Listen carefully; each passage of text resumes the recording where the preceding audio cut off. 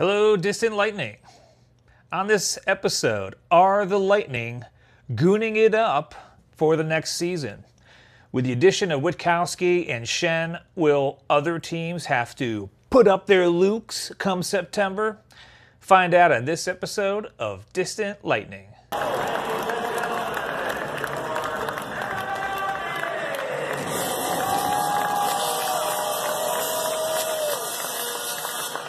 Okay, so thinking about Lightning Paladins of recent memory, uh, if we look at last season, um, a lot of people look to Braydon Coburn. You know, he's kind of the big, tall guy in our defense. Uh, they really look to him in past seasons to uh, put up his fists and take care of business when needed. Uh, but really, he didn't do much of that last season. Uh, maybe he was asked not to fight as much. Also, he's getting older. He's not a young guy anymore. He probably wants to watch his health and, and not get scratched due to injuries uh, more than he needs to. Um, he was 10th on the team, both in penalty minutes with 34 and hits with 96 last season. Uh, first place by a long shot is uh, Cedric Paquette uh, he was first in both categories with 80 penalty, penalty minutes and a whopping 269 hits. Coburn, you know, people look to him maybe to be the paladin, protector of other players, uh, but he didn't really show up last year much. Um, Alex Killorn's another guy that he's pretty good about stepping up for his teammates um, when they get roughed up. In the comments, I'll stick a link to a video from hockeyfights.com where he stuck up for Sergachev um, and um, I know I appreciate that when players are looking out for each other. If we think about past Paladins beyond last season, obviously Brian Boyle comes to mind. We all miss him, uh, but he was probably the biggest protector in the past. And when somebody was getting out of line with one of our more finesse players, good old Brian Boyle would step in the way and take care of it. Uh, remember when he shamed Abdelkader by doing the chicken dance? well, in case you don't, I've got a video link to that video in the comments too. Jake Dotchin, he's another player that I really liked watching. I liked having him on the team. Um, when I heard that he wasn't able to really get out of training camp last season um, because he had, I don't know, out of weight, he was eating too much, I don't know what the deal was. Um, but he really exhibited good paladin behavior, especially around our net. Um, he'd knock him out of our crease and he'd back it up with his fist when he needed to. Uh, if you look in the comments, I've linked to a good fight that exemplifies that, um, again, from hockeyfights.com. Okay, up and comers on the team. Uh, if I look at a couple players that uh, might have fought a little bit, uh, but seemed to stick up for their teammates, Eric Cernak comes to mind. Uh, he was second on the team in hits with 198, and he had a couple of fights last year, and he really proved that he'll stand up to anyone when he took on Tom Wilson of the Capitals uh, right near the end of the season. I've got a link to that video, that fight in the comments. Uh, Yanni Gourde's another one. Uh, he actually had the most fights on the team last year with four, and uh, he's a decent fighter, come to find out. Um, there's a video in the comments you can watch. Um, he seems to pick his fights, though, versus stick up for his teammates. So I don't know if he's really reached that paladin level.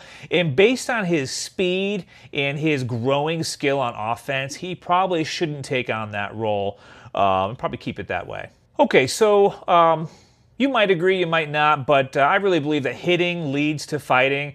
If you're hitting people, knocking them down a lot, someone's probably going to take unkindly to it and want to. Uh, uh, punch you in the face a couple times, maybe. So if we look at last season, who's doing the hitting on our team? Well, number one, Cedric Paquette, uh, 269 hits, as I mentioned already. It ended up getting him into only two fights, honestly. Uh, what do we see from Seti? He's trying to draw people into fights, but he doesn't necessarily fight himself because he's trying to get the other guy the extra two minute instigation uh, which he's pretty good at. So he ends up getting uh, drawing a lot of penalties for us, and of course we see what our team can do on the power play. So that combination of uh, Cedric Paquette uh, really baiting players and then getting our team on the power play a little bit more often helps us out. He had uh, 80 penalty minutes last year, um, and that was number one on the team for most minutes, two fights. Eric Cernak, young guy coming up on D. Um, he was number two in hits with 198. That got him into two fights, one with Tom Wilson, as I mentioned. He had 58 penalty minutes. Um, number two on the team. Number three in penalty minutes was Adam Erne. Now, here's somebody who's got size, physicality, and I really think we're going to see more from him coming soon. Um, he just might grow into Paladin role since he's on that checking line a lot.